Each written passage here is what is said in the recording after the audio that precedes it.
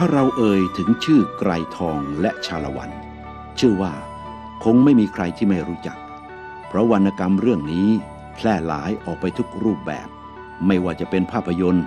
ละคร ลิเก หรือเพลงลูกทุ่ง แต่ทินกำเนิดอันแท้จริงของชาละวัน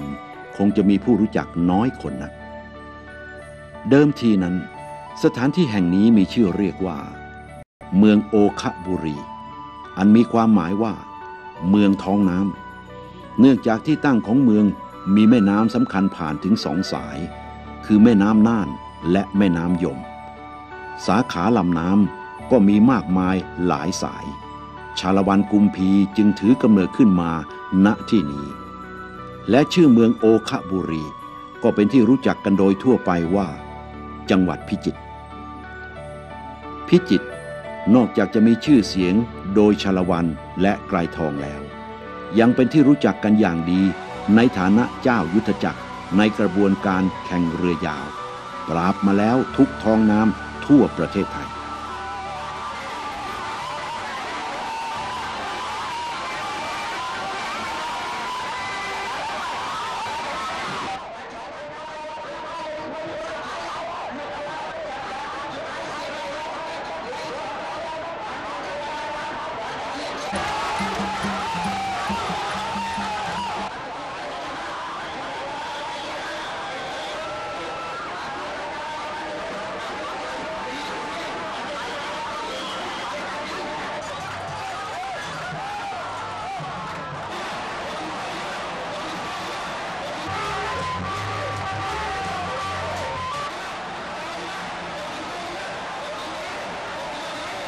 Thank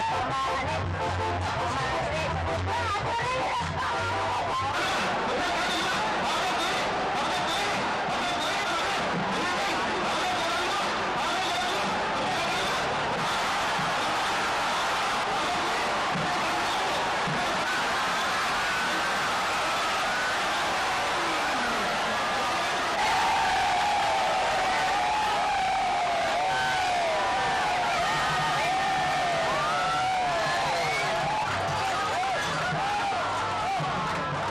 เสียงเพลงเชียร์เสียงตะโกนของผู้คนสองฝากฝั่ง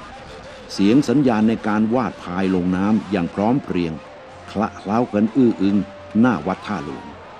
นั่นหมายถึงการเริ่มชิงชัยในการเป็นเจ้าแห่งลำน้ำน่านได้เริ่มขึ้นแล้ว เรือยาวจากลุ่มน้ำต่างๆ หลายลำพร้อมที่จะพุ่งทะยานไปข้างหน้า ด้วยพละกำลังและความพร้อมเพรียงของฝีพาย และนี่คือการแข่งเรือยาว อันเป็นประเพณีท้องถิ่นของจังหวัดพิจิตร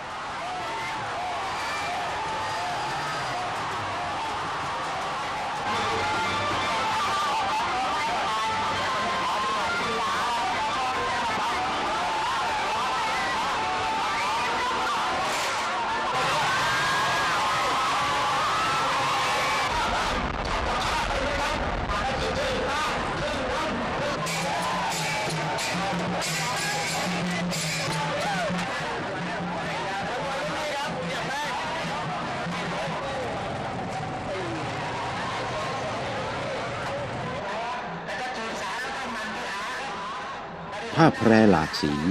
และพวงมาลัยมีช่ออุบะผูกคล้องอยู่กับส่วนหัวของเรือ มองดูแล้วมีสีสันหลากหลายสวยงาม แต่สิ่งเหล่านี้ไม่ใช่เป็นเพียงเครื่องประดับตกแต่งเพื่อความสวยงามเท่านั้น หากแต่เป็นเครื่องบูชาสการะต่อสิ่งศักดิ์สิทธิ์ประจำเรือที่เรียกกันว่า แม่ยานาง ซึ่งเรือแต่ละลำจะต้องมีแม่ยานางคุ้มครองเป็นสิริมงคล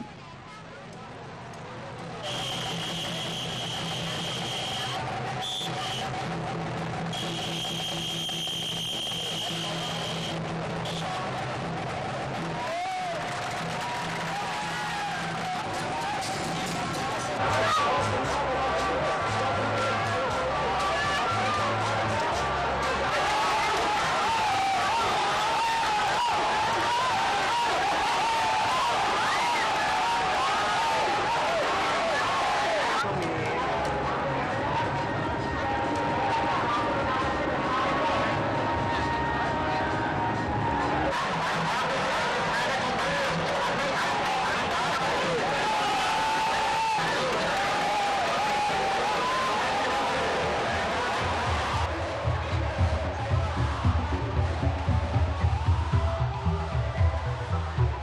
รแข่งเรือประเภทเรือยางนี้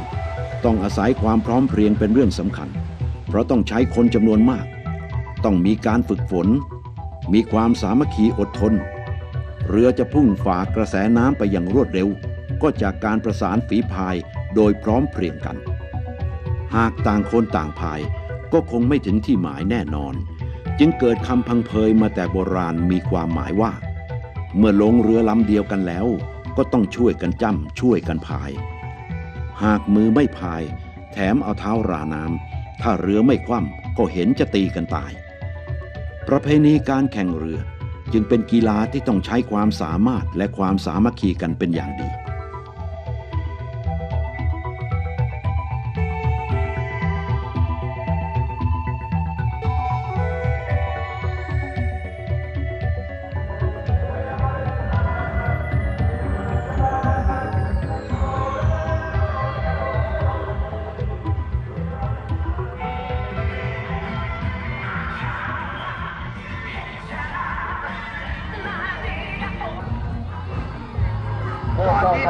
ที่เราอยู่ทางทิศตะวันออก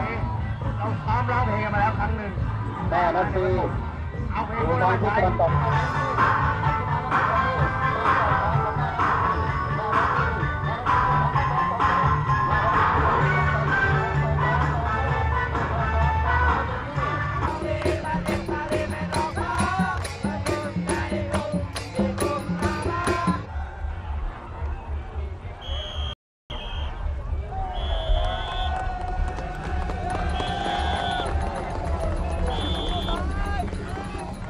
เรือยาวที่ใช้ในการแข่งแต่ละล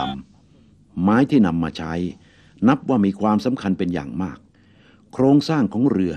ไม่ได้ประกอบขึ้นด้วยไม้แปรรูป แต่เป็นไม้ทั้งต้นที่นำมาขุดแต่งให้เป็นรูปทรงของเรือด้วยความชำนาญของในายช่าง และไม้ที่นำมาใช้นี้ ต้องมีการคัดเลือกโดยกรรมวิธีมากมาย ซึ่งส่วนใหญ่แล้วก็จะเป็นไม้ตะเคียน อาจเป็นเพราะว่าเป็นไม้ที่มีเนื้อแข็งคงทน และถือคติว่า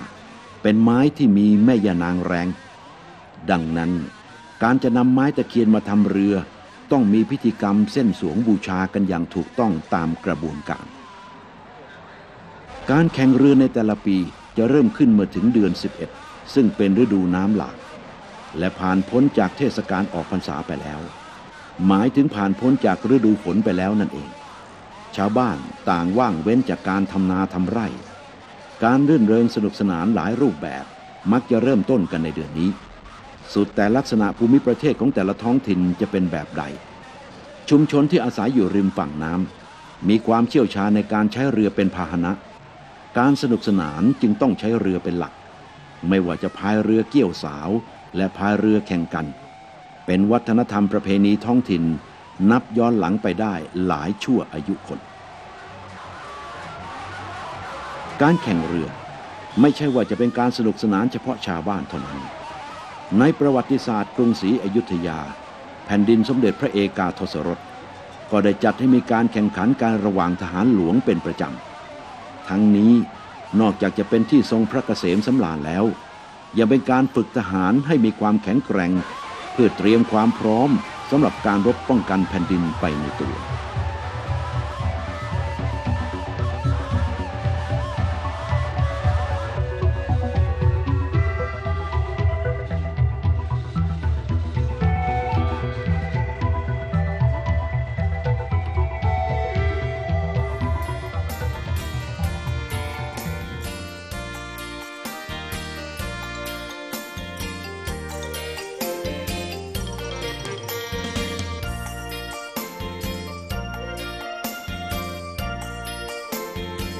ทุกวันนี้ การแข่งเรือจะมีอยู่ทั่วไปในหลายท้องที่ด้วยถือว่า เป็นประเพณีไทยมาแต่โบราณที่ควรค่าแก่การอนุรักษ์ไว้ เป็นมรดกแก่ลูกหลานชาวไทย ให้รำลึกถึงวิถีชีวิตแบบไทยๆของบรรพชนในอดีต และเป็นการสร้างพลังแห่งความสามัคคีในการดำเนินชีวิตว่า ต้องช่วยกันจ้ำช่วยกันพาย ไม่ต่างอะไรกับฝีพายที่อยู่ในเรือลำเดียวกัน